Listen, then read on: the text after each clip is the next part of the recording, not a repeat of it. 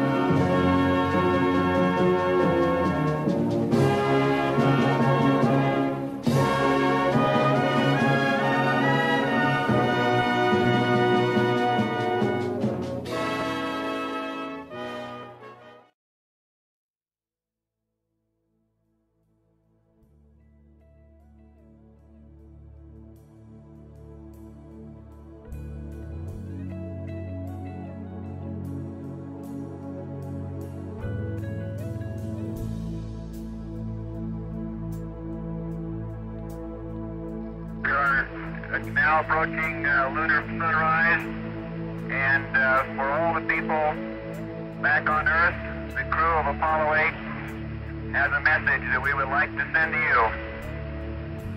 In the beginning, God created the heaven and the earth, and the earth was without form and void, and darkness was upon the face of the deep. And the Spirit of God moved upon the face of the waters. And God said, Let there be light. And there was light. And God saw the light, that it was good. And God divided the light from the darkness. And God called the light day, and the darkness he called night, and the evening and the morning were the first day. And God said, Let there be a firmament in the midst of the waters. Let it divide the waters from the waters. And God made the firmament, and divided the waters which were under the firmament, the waters which were above the firmament. And it was so. And God called the firmament heaven, and the evening and the morning was the second day.